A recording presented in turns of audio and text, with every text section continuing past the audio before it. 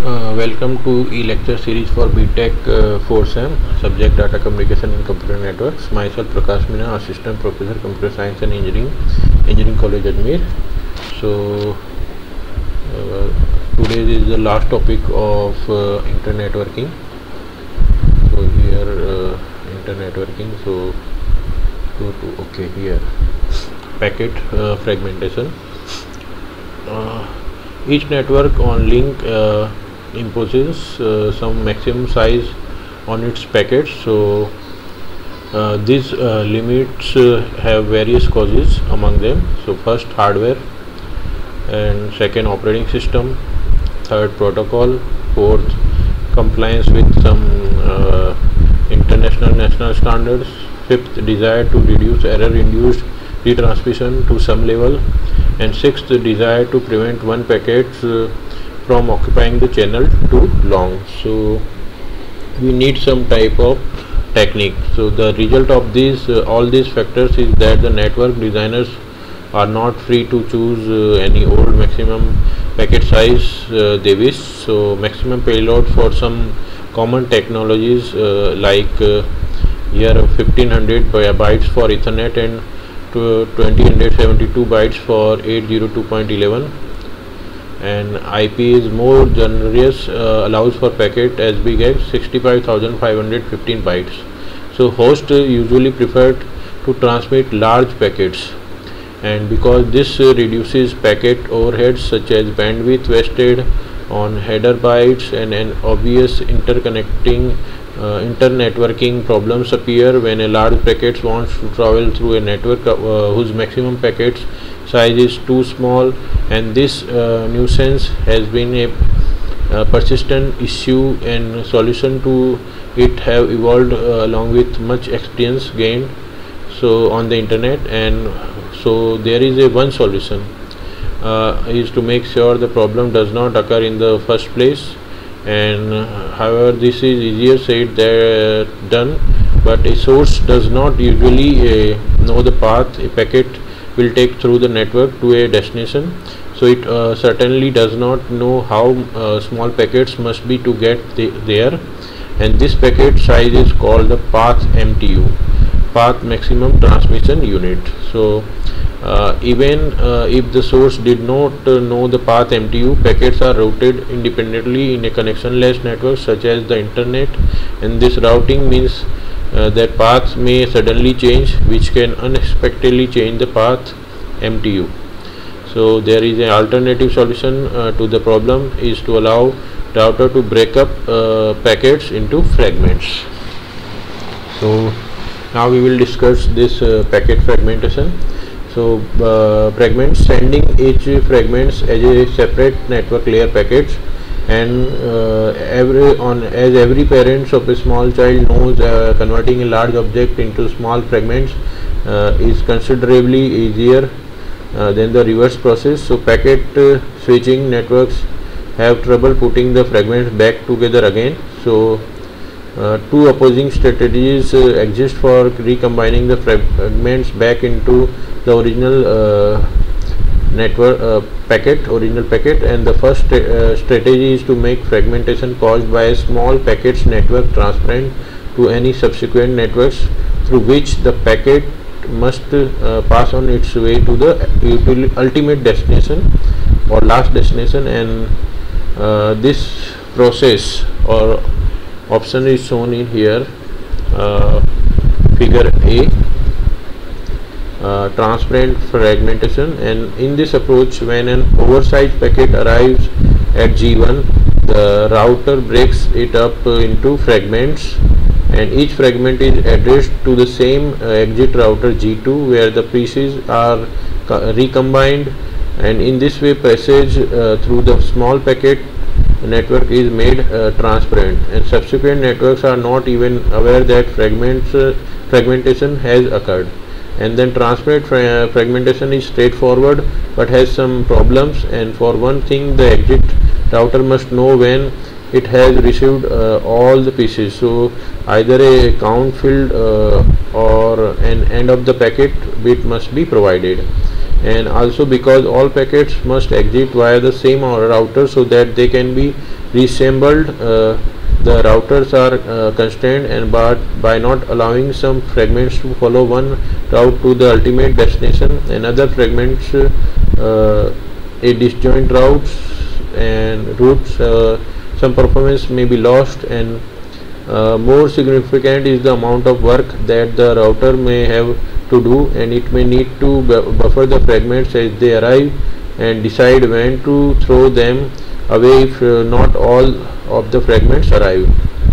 So some of the work uh, may be wasteful and as the packet uh, may pass through a series of small packet networks and need to be re repeatedly fragmented and reassembled so the other fragmentation strategy uh, strategy uh, is to refrain from uh, recombining fragments at any intermediate routers and once a packet has been fragmented each fragment is uh, uh, treated as through its uh, it were an original packet so the router passed the fragments here as you can see in figure P non-transparent fragmentation and reassembly is performed only at the destination host.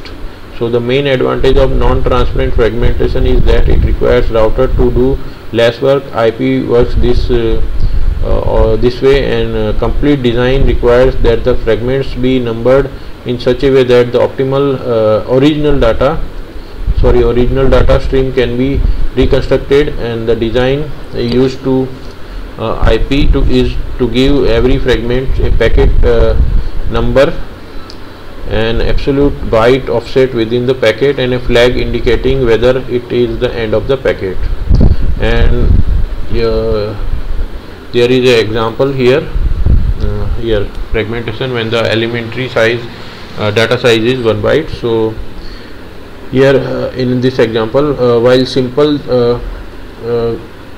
this uh, design has some attractive properties and fragments can be placed in a buffer at the uh, destination in the right place for reassembly even if they arrive out of the order. So fragments can also be fragmented if they pass over a network with uh, yet smaller MTU. So here you can see in figure C uh, retransmission of the packet uh, can be fragmented into different pieces and finally fragments can be of arbitrary size down to a single byte plus the packet header in all cases the destination simply uses the packet number and fragment offset to place the data in the right position and the end of the packet uh, to determine when it has the complete packet so uh, unfortunately this design still has some problems and the overhead can be higher than with the transparent fragmentation because uh, fragments readers are now uh, control over some links where they may not be needed and but the real problem is the existence of fragments in the first place. So uh, there is a scientist Kent and Mogul agreed, uh, argued that uh, fragmentation is uh, detrimental to performance because as well as the header overhead a whole packet is lost. And if any of its fragments are lost and because uh, fragmentation is more of a burden for host uh, than was originally realized.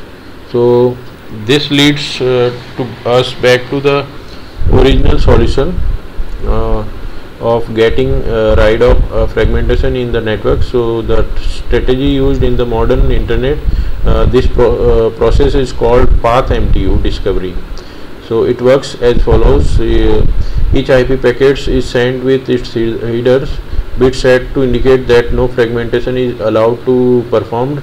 If a router receives a packet that uh, is too large it generates an error packet and return it to the source and drop the packets and I think uh, okay here the figure shows uh, path MTU discovery. And when the source receives the error packet it uses the informations inside the refragment the packet into pieces that are small enough for the router to handle.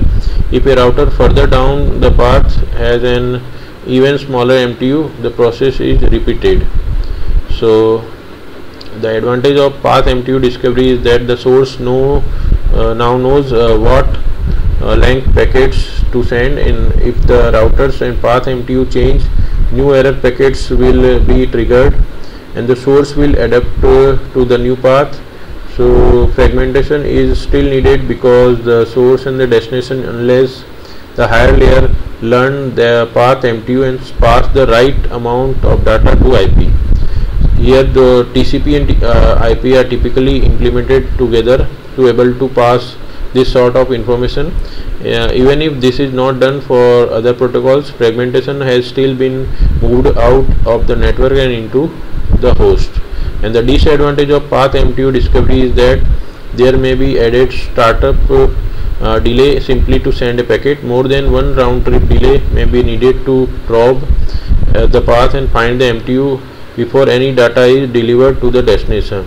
Uh, this begs the question of whether uh, there are better designs uh, and the answer is probably yes. So consider the design in which each router simply uh, truncated truncates uh, packets that exceeds its uh, MTU this would ensure that the destination learns the MTU as rapidly as possible and receives some of the data. So here we completed our last topic of internet networking uh, packet fragmentation. So you can go and check more uh, about this topic. Uh, so all the details and resources from computer networks fifth edition. So here session ends. Thank you